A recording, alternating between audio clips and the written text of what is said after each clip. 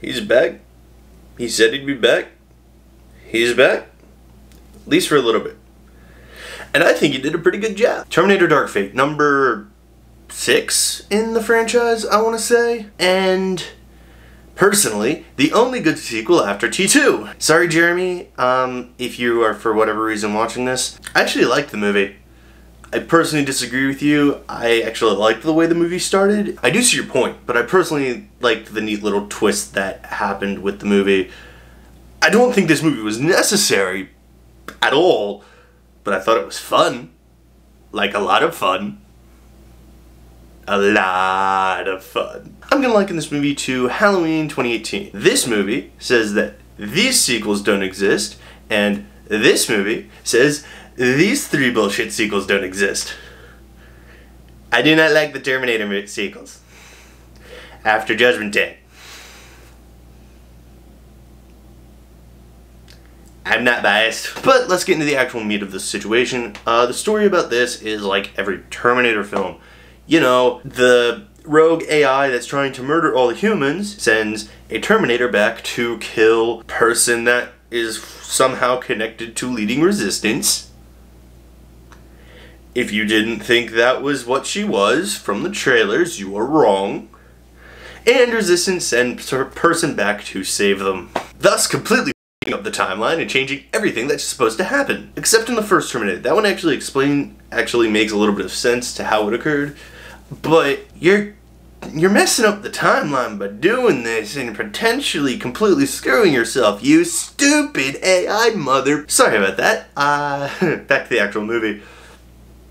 I thought it was entertaining. There are a lot of um, action fight scenes in the film that, for the most part, are grounded in reality until the end of the movie when it kind of goes full action, which that bothered me a little bit, but at the same time, I personally enjoyed it. There is a bit of an explanation as to why Arnie is in the past, like how his Terminator is there.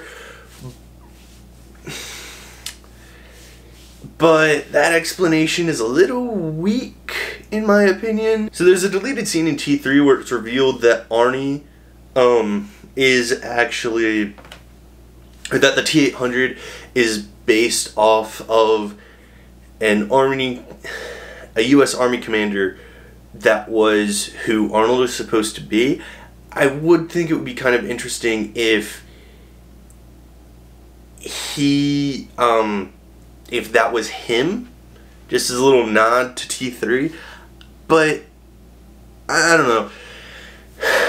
Um, the way they did it, I thought was a little dumb, but it also makes sense. Is weird. If you like dumb action movies, you probably enjoy this. Terminator isn't a franchise that really lends itself to sequels. Acting, that's what I wanted to talk about. The acting in this movie is really good. Like, all of the actors do a very solid job with what they're given, though some of it is extremely stupid. Solid job with what they're given, so they put on a good performance. It's an entertaining movie, and I enjoyed watching it. Yeah, no, it's...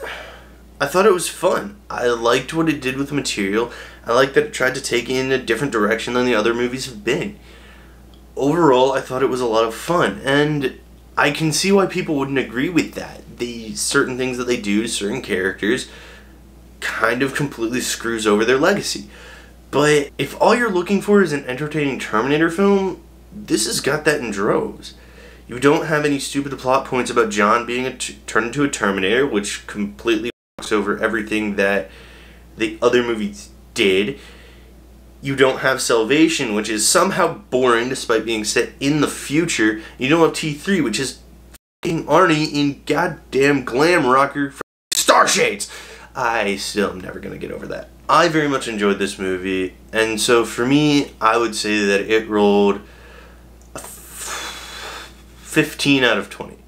Highly enjoyable movie, but honestly could have been better in certain aspects, but again, I just watched it as an action movie. I didn't try looking at it as how it compared to the Terminator sequels. I if you think differently me, please let me know down in the comments below. I would love to know your opinions. Alright, well, that's all I have, guys. If you want to follow me on Twitter or Instagram, links are going to be in the description down below. And, yeah, that's all I really have for now. Peace out, guys.